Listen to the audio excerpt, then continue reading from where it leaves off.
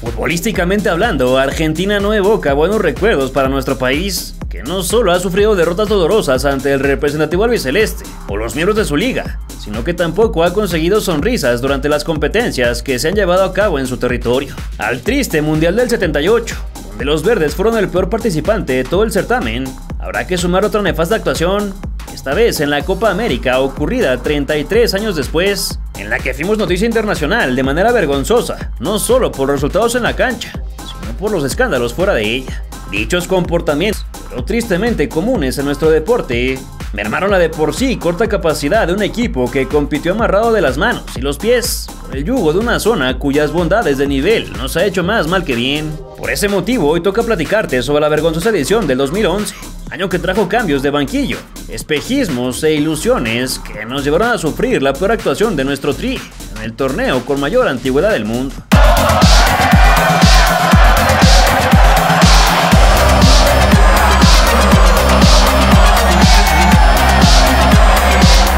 Después de brillar con luz propia durante la versión de 2007, en la que México se subiría por última vez al podio del torneo, demasiados hechos cambiaron no solo para el entorno nacional, sino el continente entero que sumó una penosa actuación durante Sudáfrica, salvo por Uruguay, cuya grandeza despertó para impulsarlos hasta el cuarto sitio. Diversos técnicos desfilaron como consecuencia, cracks dijeron adiós y algunas figuras en ciernes despuntaron para tomar la estafeta, refrescando el abanico de nombres esperados para engalanar la competición en tierras pamperas, que volverían a abrir sus puertas luego del Campeonato Sudamericano Sub-20 de 1999, el Mundial Juvenil de 2001. El 1 de junio de 2010, mediante un congreso extraordinario en las Bahamas, el presidente de la AFA, Julio Grondona, confirmó la realización del certamen con La Plata, Córdoba, Santa Fe, Mendoza, San Salvador de Jujuy, San Juan y Salta, elegidas como subsedes para involucrar a ciudades fronterizas que benefician el turismo. Pese a que los Esmeraldas eran un invitado infaltable desde 1993,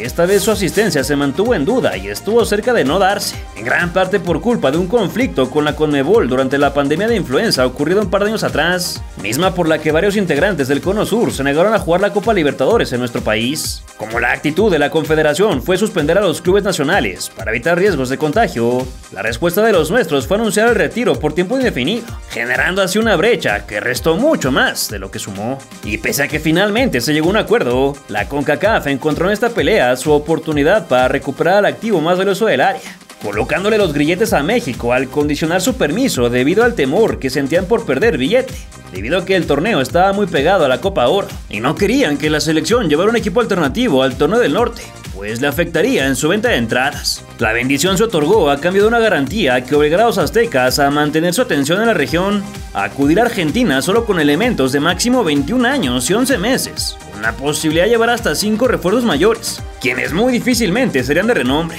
La Copa Oro es la competencia donde México debe traer a su mejor equipo. No existe confusión, no puede utilizarse la misma plantilla en dos competiciones oficiales. El lugar al que pertenece México es CONCACAF, Tal vez eso no haga feliz a todo el mundo, ni a los sudamericanos, pero este es el lugar donde deben jugar, dijo el secretario general Chuck Blazer. Este gringo, que se descubrió era un corruptazo años después, excusó que solamente nos defendía de los maltratos y el desprecio que mostraban los vecinos hacia la zona. Pero sin duda lo que más le dolió a este paladín de la justicia fue que dos naciones del continente se negaron a votar para la candidatura norteamericana del Mundial 2022, algo que jamás perdonó. Utilizando los nuestros como escudo y espada, el de pantalón largo no solo nos cortó las piernas para participar, sino que dentro de sus muchas condicionantes, y a medida de una simple sugerencia, también privó de su participación al mejor futbolista mexicano del momento, Javier Hernández, a quien sugestivamente solicitó para el torneo local. Y como muchas veces, nuestros federativos acataron sin chistar, aunque tampoco acabaron con las manos vacías, ya que Ceder tuvo su beneficio cuando negociaron mantener el hexagonal tal y como estaba, en lugar de hacerle cambios al formato de clasificación mundialista, que aumentaría su dificultad. ¿Quién sabe qué habría pasado si se respetaba la idea original de hacer dos grupos con cuatro equipos para entregar un boleto a los primeros dos de cada sector? Más tomando en cuenta cómo fue el traumático cierre de eliminatoria, en el que millones de fanáticos sacaron el rosario para implorar un milagro, finalmente nos concedieron los estadounidenses. Sin embargo, para eso todavía faltaba tiempo. Y el que será considerado como uno de los peores villanos de dicho proceso apenas estaba por tomar las riendas del tricolor, ya que llegaría hasta comienzos de 2011, un par de meses después del sorteo en el Teatro Argentino de La Plata, donde se anunció que bailaríamos con Uruguay, Chile y Perú. México, o sea, Uruguay, Chile, y México. Perfecto. Uruguay, México, Perú y Chile van a jugar en la zona de Cuyo. En la San zona Juan de Cuyo. y Mendoza. San Juan y Mendoza, exactamente. Creo que el tercer partido les toca jugar aquí en la ciudad de La Plata, a Uruguay. La inmensa actividad que nos esperaba y las condiciones no benéficas en las que encararíamos el certamen sudamericano hicieron que este no fuera prioridad para el Chepo de la Torre, nuevo técnico nacional cuya mayor preocupación sería conocer al equipo mayor para las afrentas que tenía casi a la vuelta de la esquina. Como dos cabezas piensan mejor que una, José Manuel designó a Luis Fernando Tena para trabajar con los menores y armar un cuadro rescatable, capaz de sorprender en la justa pactada para dentro de seis meses. Tan rápido como pudo, el flaco se defendió de los cuestionamientos por parte de un sector que no lo sentía preparado para triunfar con los jóvenes y aseguró que formaría una escuadra competitiva, reforzada en primera instancia por un guardameta. Vamos a traer a los jugadores idóneos, escogeremos a los mejores y a los más fuertes para una competencia tan seria. Hay una buena generación y creo que podemos dar una buena pelea para dejar una buena imagen. Obviamente los favoritos no vamos a ser, señaló con su clásica seriedad. Y si en algo tenía razón el que hizo campeón a Cruz Azul, era que los nombres daban ilusión, ya que la camada contaba con figuras como Marco Fabián, Jorge Enríquez, Diego Reyes, Néstor Araujo y otros más que ya hacían sus pininos en Liga MX, además de Jonathan Dos Santos, que ya sumaba minutos con el Barcelona. El hermano de Giovanni era considerado como una de las máximas promesas de nuestro balompié, y el deseo por integrar a las filas aztecas era enorme, con todo y que el proceso fue muy complicado e incluyó diversos problemas tanto con el contención como con su padre Cicinho. Eso porque tuvo una dolorosa ausencia previo a la Copa de Sudáfrica.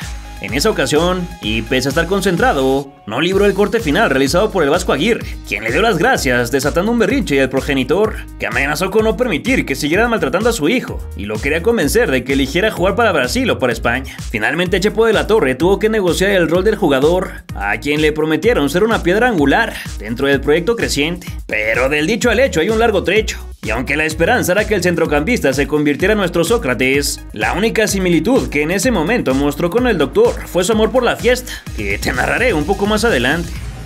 No tengo ningún problema ni con él ni con su familia, al contrario, era saber cómo estaba, verlo, visitamos su club, nos explicaron su situación, cómo lo ven, esta situación y, y lo mismo con, con Cicinho, que Cicinho lo conozco hace mucho tiempo, fuimos contrarios en el fútbol, y tenemos una gran relación. Mientras tanto, el mandamás del equipo verde se regocijaba en los medios sobre la importancia de la disciplina y comentó que debido al convencimiento pleno de sus dirigidos, ni siquiera era necesario imponer un reglamento, pues eran profesionales de tiempo completo. Vaya ironía. El 24 de marzo, un día después de que se presentara el nuevo uniforme, los sub-22 se encargaron de estrenarlo con un partido frente al Pachuca, mismo que lideraron por 2 a 0 gracias a un doblete de Marquito Fabián, pero que terminó en igualada una bravía reacción de los Tuzos sobre los minutos finales. El resultado frente a los 20.000 fanáticos en el Hidalgo fue lo de menos, ya que Otonel Arce salió de cambio al 45 debido a una rotura de menisco.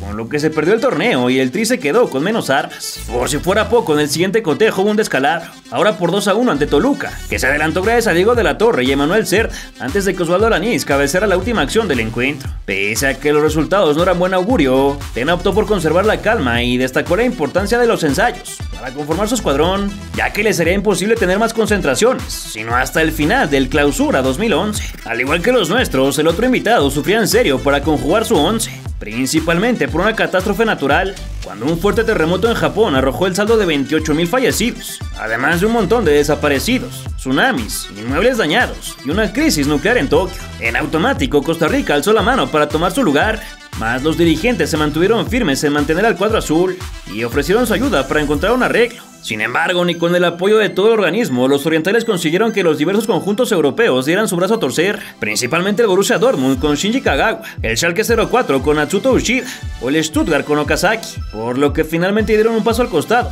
tras no completarse. Pese a que los ticos insistieron en su interés, el elegido para suplirlos fue España, mucho más atractivo en todos los aspectos al ser el actual campeón del mundo. No obstante, el encanto duró poco, y los rojos declinaron, pues ese verano era el único donde sus estrellas tendrían vacaciones. Solo hasta entonces, y tras descartar también a Estados Unidos, fue que los organizadores invitaron a los dirigidos por Ricardo Lavolpe, que también se enfrentaron a una complicación para armar su plantilla, por la absurda regla de la CONCACAF, criticada por el ex portero José Luis Chilabert, al considerar que enviaban representativos devaluados. Ya con los participantes definidos, el comité presentó el Total 90 Tercer Dome, pelota oficial de la competición que fue diseñada por Nike, con Mira, se lograron una mayor presión en el golpeo. Los encargados de calarlo fueron Ronaldo y Alfio Basile, quienes aprobaron este esférico de 436 gramos. Nadie puede jugar mal con este balón, dijo el Coco, que de saber cómo lo haría México, seguro se habría tragado sus palabras. Llegó Total 90 Tracer Doma, el balón oficial de la Copa América, Argentina 2011. Doma, el mejor balón del mundo, el más preciso de la Tierra. Soy Abel Hernández, estoy probando la Nike Doma, la mejor pelota del mundo. Hola, soy Alexis Sánchez, estoy probando la Nike Doma, el balón oficial de la Copa América. Soy Javier Pastore y estoy probando la Nike Doma, la mejor pelota del mundo. El que tiene el doble de consistencia que cualquiera.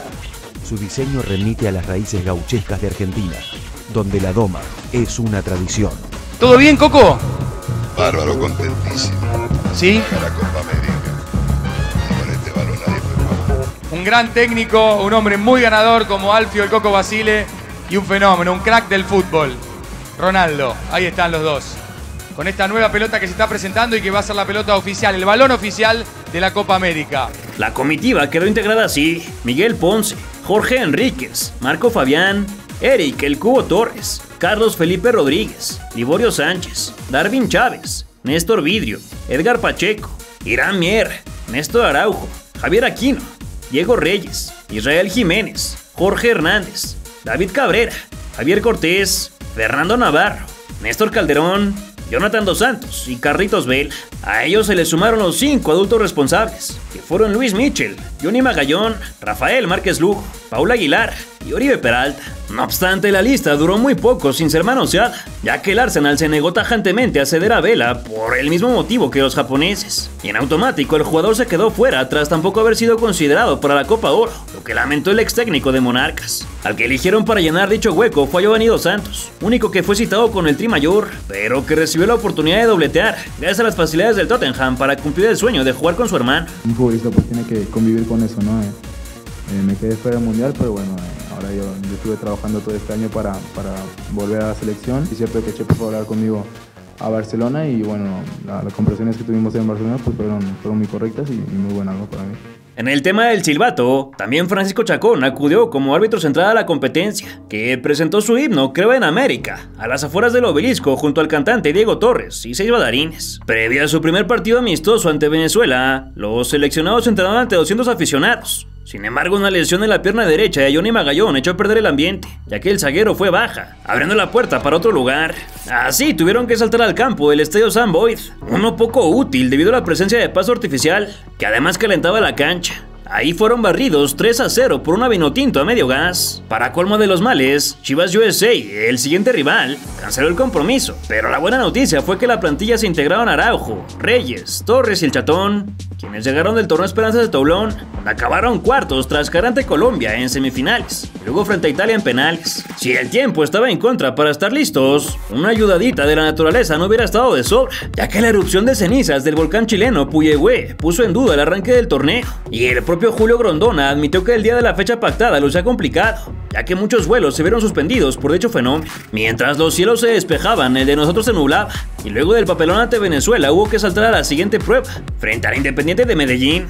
La afrenta ante el penúltimo lugar de la Liga Cafetera decretó un duro empate a El triunfo seguía sin llegar y las fallas lucían preocupantes. Al Tri le costaba un mundo concretar, pero su defensa era más endeble que Tsuro del 2000 y hasta los experimentados fallaban a la hora clave. Y luego un evento desafortunado azotó al cuadro mayor, que mientras disputaba la Copa Oro se vio desvalijado a causa del clenbuterol, esa sustancia prohibida que ingirieron cinco futbolistas de manera accidental al comer carne, lo que forzó sus respectivas bajas. El terror golpeó al resto de las comitivas aztecas, que examinaron a sus categorías y obtuvieron puros casos negativos, pero era necesario tapar dichos huecos, por lo que Irán Mier, Paula Aguilar, Marco Fabián y Luis Michel fueron llamados al equipo mayor, con los últimos dos a la espera de viajar solo en caso de ser requeridos. Al torneo de Estados Unidos llegó también Héctor Reynoso, que dobletó en las competencias porque lo eligieron para suplir al Johnny, pero así como hubo altas, también se hicieron oficiales las bajas de Eric Torres, Fernando Navarro y Edgar Pacheco, con lo que el plantel final quedó redondeado. Aunque mejor ni te lo enlisto, ya que después habrá muchos cambios. Mientras tanto, los sub-22 llegaron a Colombia para medirse al país anfitrión en la cancha del estadio Hernán Ramírez Villegas. Los muchachos plantearon un catenacho mexicano para secar a los del Bolillo Gómez, que contaba con grandes figuras como Radamel Falcao, Freddy Guarín, Teofilo Gutiérrez, Mario Yepes y Elkin Soto.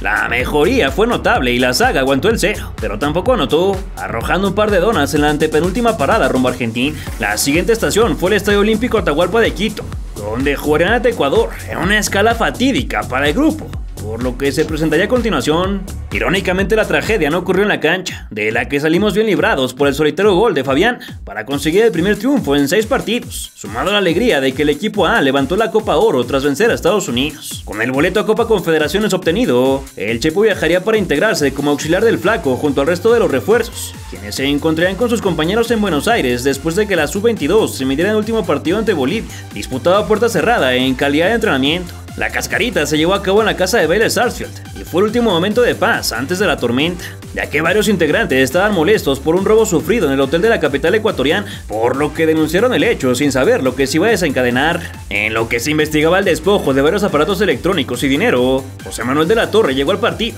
que terminó con victoria de 1 a 0 gracias al tanto de Miguel Ángel Ponce.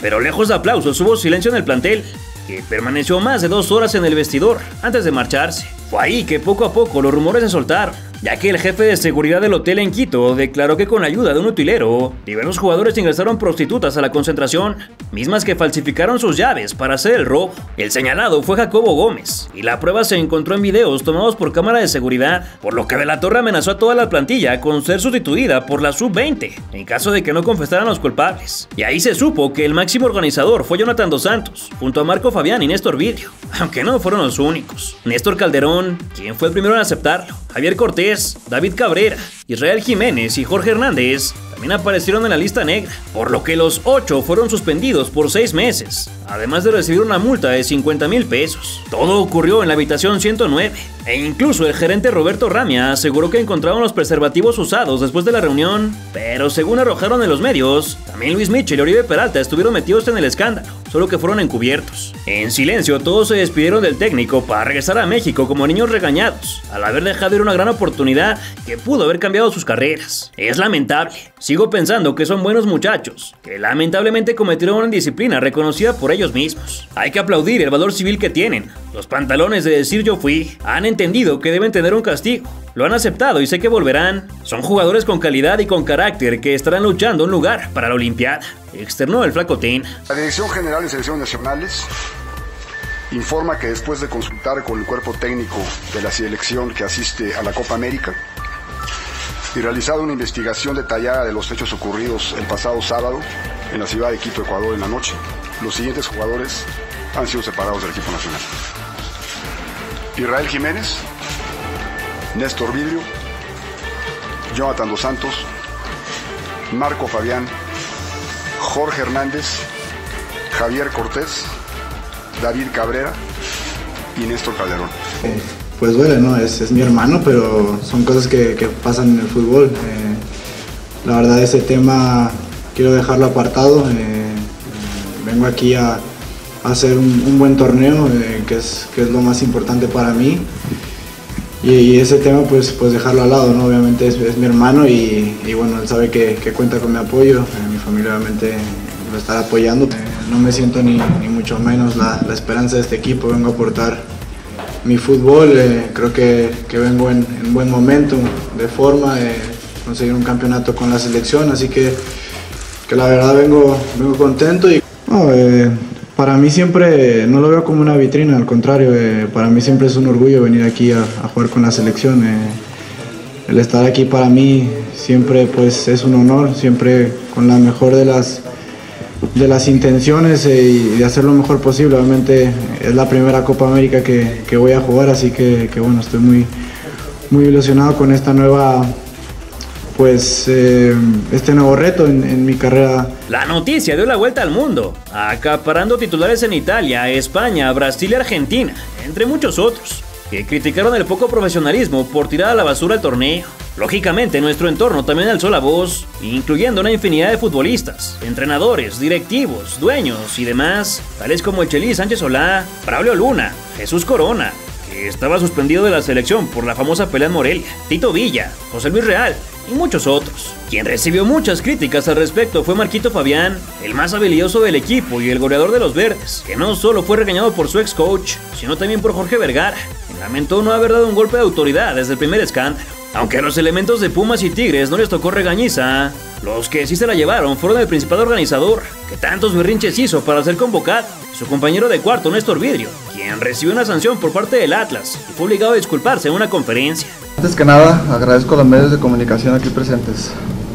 Como ustedes saben, el pasado 25 de junio se suscitaron hechos durante mi concentración de la Sub-22 en Quito, Ecuador, mismo que hoy lamento profundamente de los cuales no dar detalles. Perdí la oportunidad de disputar una competencia internacional, demeritando además la confianza que se tuvo en mi persona. Asumo y acepto las consecuencias de mi error, por ello, a través de ustedes, los medios de comunicación, pido una disculpa pública a la afición y más a mis compañeros de equipo y a la institución por la indisciplina. Estoy completamente consciente y como jugador profesional debo ser ejemplo dentro y fuera de la cancha de fútbol. Luego de un entrenamiento a puerta cerrada, los elegidos para tapar el hueco fueron Cristian Álvarez, Diego de Buen, Antonio Gallardo, Alan Pulido, Ulises Dávila, Carlos Orrantia y Osvaldo Alanís, además del regreso de Edgar Pacheco, lo que significó un cambio radical y delicado, ya que la nueva camada elegida sumaba 223 partidos menos de experiencia en comparación con los anteriores. De Buen ni siquiera había debutado, pero así hubo que improvisar una solución con hombres de la noche a la mañana, que tendría una responsabilidad mayúscula. En cuanto a nuestro primer adversario, Chile, el recién llegado Claudio Borghi se mostró confundido por todo lo ocurrido en el campamento de enfrente, ya que tantas bajas volvían aún más impredecible a la plantilla de Tena.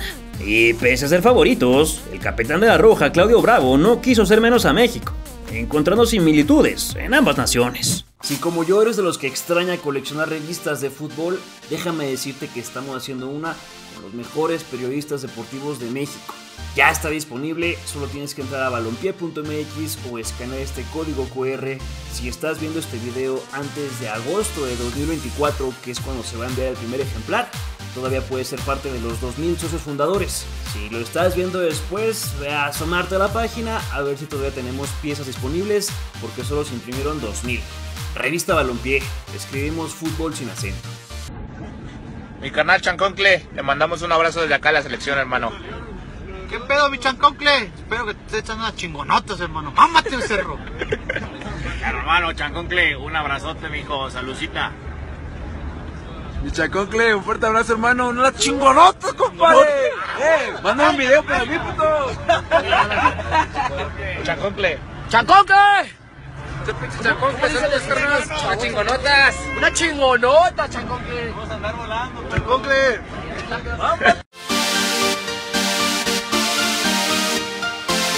En el Estadio Bicentenario, frente a 25.000 almas, se marcó la hora del debut ante Chile, que dominaba la grada por su cercanía. Después de cruzar el túnel, los verdes inauguraron la ceremonia de los himnos, entonados por la pintoresca grada y jugadores a la par, mientras que los andinos voltearon al otro lado para ponerse la mano en el pecho y gritar en lo que su enorme bandera se desplegaba por las butacas. Quedó muy claro de quién era la localía. Luego de las fotos llegó el ritual de la Caro Cruz, ganada por dos bellos esféricos que durante 90 minutos habrían de paralizar a todo el continente.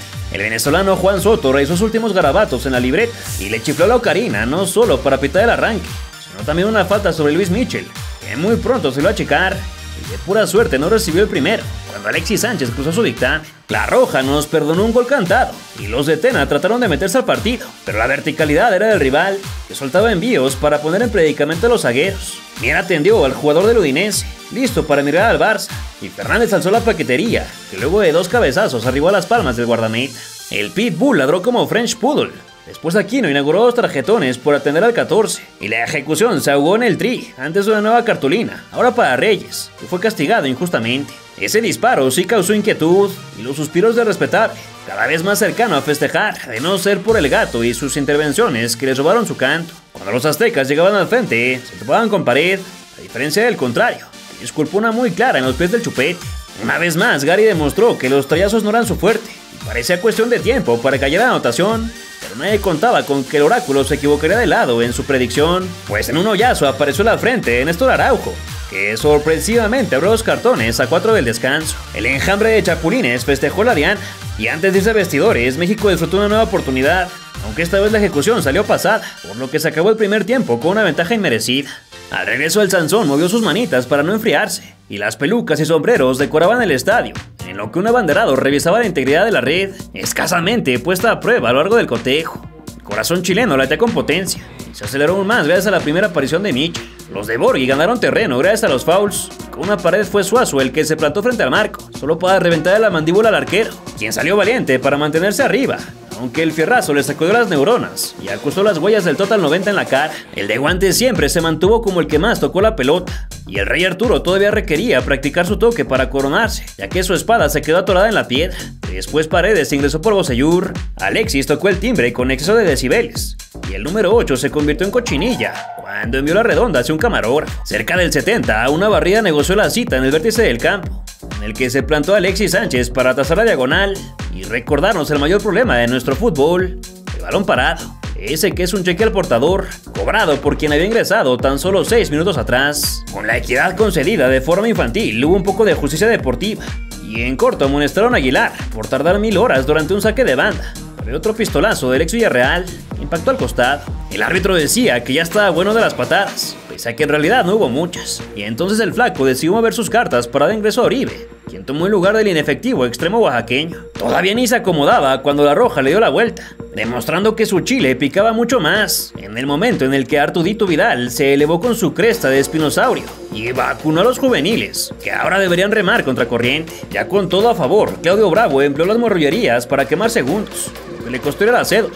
Y el tercero viajó por encima de la vara, por desgracia para Gary, lleno de lamentos en el piso. El 22 quedó herido y se marchó cojeando tras una patada en el círculo central, y un breve iconato se armó sin consecuencias, antes de la entrada para Carlos Carmona, que miró de lejos un empellón sobre Darwin Chávez. La franela le negó un tercer tanto al equipo escarlata, mientras que Edgar Pacheco ingresaba con la esperanza de ponerse el traje de héroe, mismo que olvidó en la baticueva, ya que un mal control lo privó de definir la igualada. El de Atlas conectó un cable a la cabeza de Diego Reyes, pero el capitán apenas se movió para resolver el zumbido. Y la bancaria se elevó por los aires para prevenir al pelón, cuyo mayor aporte fue lesionar al chupete. Ya sobre la hora apareció la esperanza gracias al spray del profe en los linderos del área. Aunque la curva sobre el cajón llegó al cráneo de un defensa, y con ello se terminó la primera prueba, de calificación reprobatoria con solo 63 pases, por 209 del rival. Quizá por la vergüenza de no verse las caras con quien los venció, los verdes cambiaron de alojamiento y se refugiaron esta vez en el complejo deportivo Buenos Aires Fútbol, propiedad de Matías Almeida, gozaron de total privacidad para preparar el encuentro contra Perú, que era un hospital debido a las ausencias de Pizarro, Farfán, Luis Ramírez y Carlos Zambrano.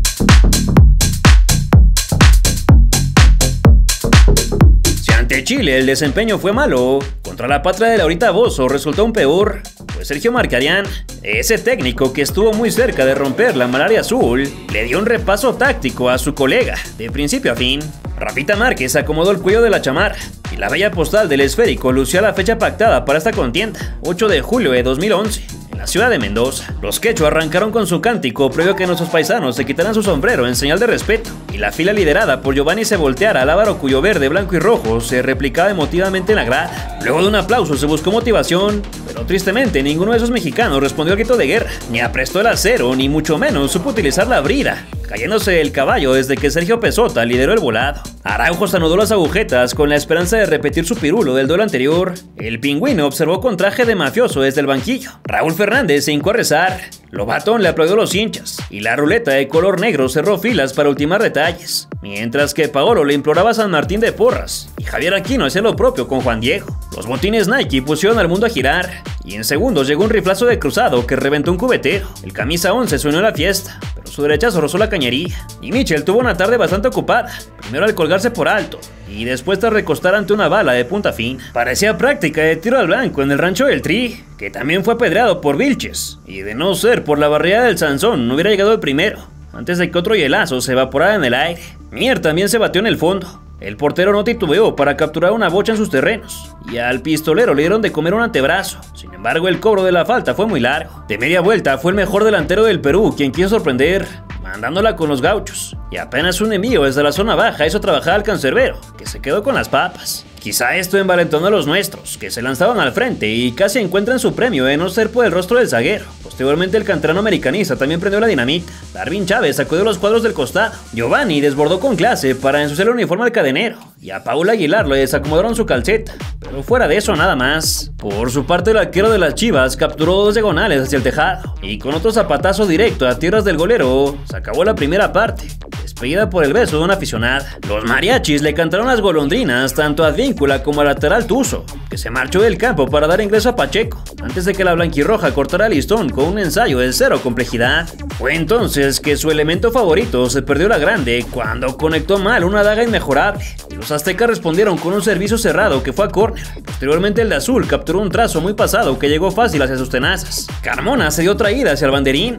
Yoshimar se manchó su armadura por un contacto y un centro no reventó el foco de milagro. Vargas negoció otra esquina, desde donde la bicolor prendió alertas hasta que el policía les castigó una infracción y después Mitchell resguardó otro escopetazo hacia la nada, previo a gritar al fantasma Márquez Lugo, que miró en primera fila la tacleada del amonestado Mier. Una asociación dejó al capitán frente a la cabaña norteamericana, pero el poste rescató la chamba. Luego el arquero se hizo el harakiri con su mala salida, que de churro no tuvo consecuencias. Más tarde Guerrero se tiró un clavado que ignoraron y se quiso devorar su camisa tras otro intento que dirigió hasta el mismísimo Polo Sur. Reyes tiró tan mal que le salió asistencia, pero el remate fue descafeinado. Fernández se quedó con un suspiro del pelón, quien después provocó una falta. Un botinazo se alojó en la luna, y el número 6 caló al portero mundialista, que respondió correcto previo a que su compañero levantara una sandía.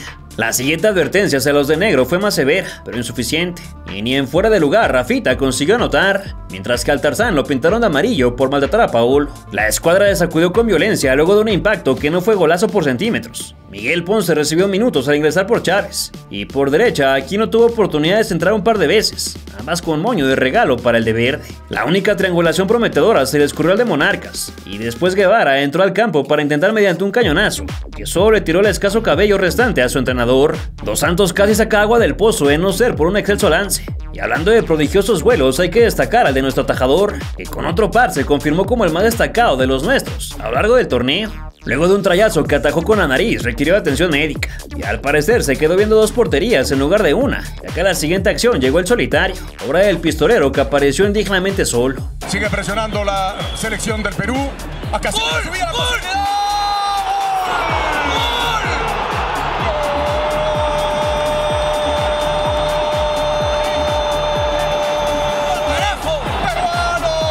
Pese a ser escaso, el público no se contuvo en el festejo, y con solo 9 para empatar, Reynoso quiso saltar líneas como cierto Kaiser de Zamora, aunque lo obsequió al guardameta. Del otro lado no renunciaron al ataque, pero con la mira chueca. Y el último cambio de Don Marca fue ingresar a Yosemir Balón, mientras que su colega le dio escasa oportunidad a Oribe Peralta, al ingresarlo por aquí.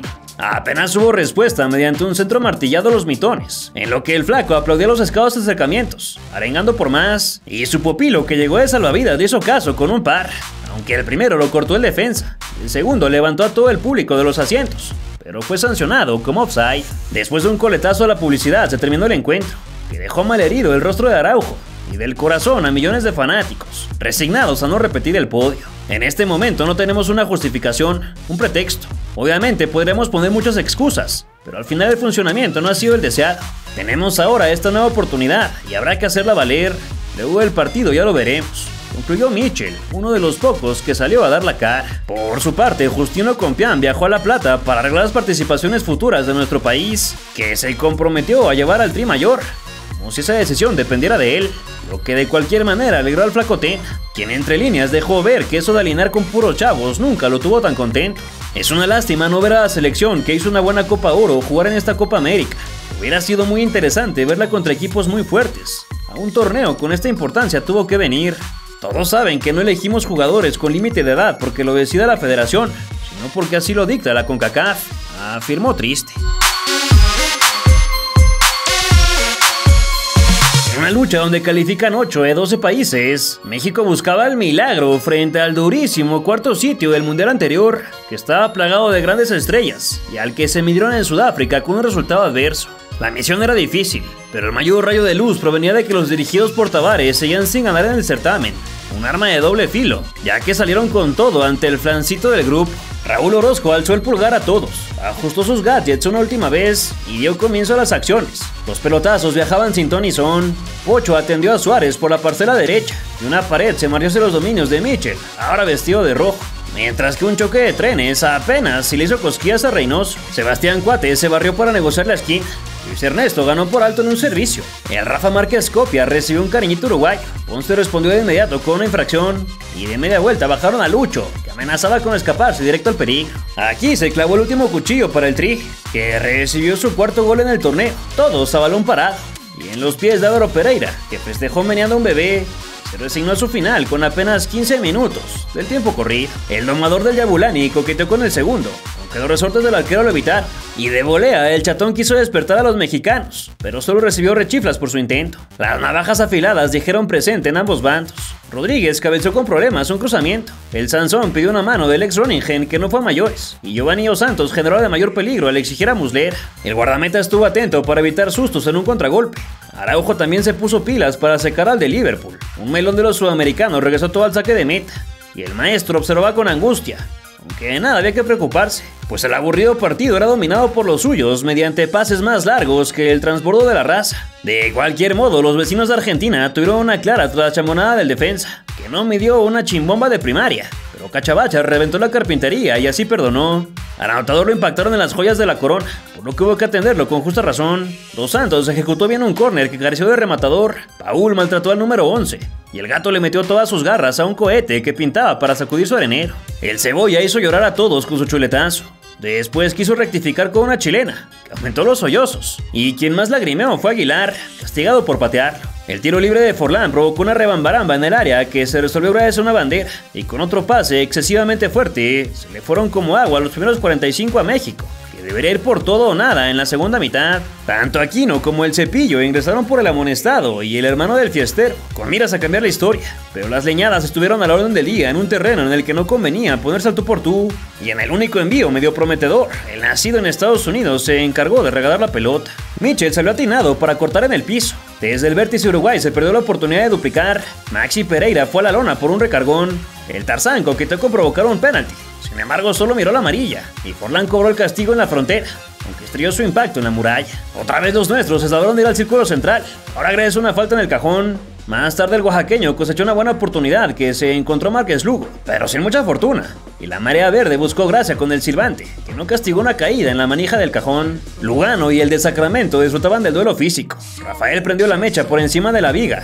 Y Forlán comprobó que su equipo salió a confesar más que sacerdote, cuando anidó su remate en el techo de la portería. Iramier se excedió de fuerza el amonestar. Luis capturó en dos tiempos un martillazo de Rodríguez. Peralta le sacó pintura a Diego Pérez y Álvaro González le pegó hacia las Malvinas. Pero su compañero sí estuvo atinado para obligar al guardameta a sobarse las palmas. Nico Lodeiro entró para los 20 minutos finales, que siguieron con hachazos al por mayor. El flaco Tena ya no ocultaba la derrota, y realmente mal no nos salió el resultado, ya que no se abultó solo por la pésima puntería de los sudamericanos. Pacheco fue el último intento de revulsivo, no obstante el peligro seguía teniendo un dueño claro, y los tímidos avances mexicanos nunca fueron de consideración para Muslera, diferencia de su contraparte, que le hizo honor a su apodo y con reflejos felinos se destacó una vez más. Y el cachabacha tuvo lo necesario para liquidar esta contienda, pelada con el cuchillo entre los dientes de principio a fin, y gracias a una falta sobre Chávez llegó el gol del empate, conquistado por el tocayo del que brillara en Europa, pero invalidado por Efraín Castro asistente que sancionó fuera de lugar.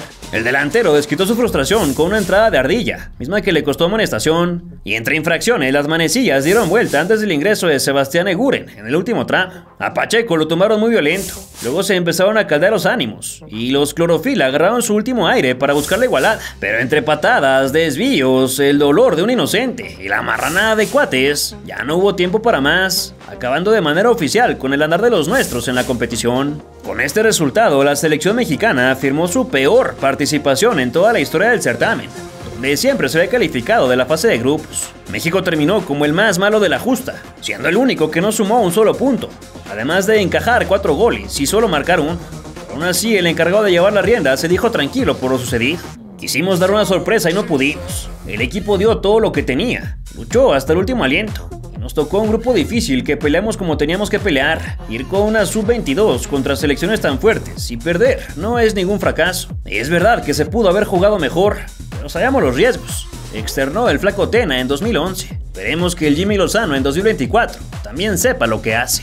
Mientras tanto, la pelota se siguió pateando en Sudamérica, puros resultados sorprendentes que arrojaron victorias de todos los que no eran favoritos durante cuartos de final. Perú se impuso ante Colombia 2 a 0.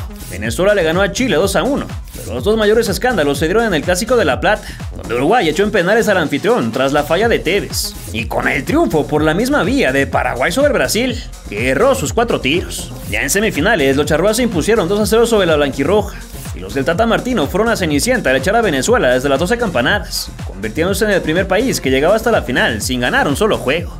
No me sorprende mucho el técnico argentino, a decir verdad. El pueblo inca se quedó con el bronce gracias a un triplete de Paulo Guerrero, máximo goleador con cinco tantos. La gran final se celebró en el Monumental, al que le quitaron su clausura momentánea debido a los graves incidentes de violencia que se suscitaron menos de un mes atrás por el descenso de River Plate mismos que dejaron 89 heridos. En la definición la copa se teñó de celeste gracias a un gol de Luis Suárez y un doblete de Forlán, que no solo acabó su sequía de un año sin marcar, sino que se convirtió en el máximo goleador en la historia de su representativo, empatando a Héctor Escarone, además de igualar a su padre Pablo y a su abuelo materno Juan Carlos Coracho, ambos ganadores de la justa.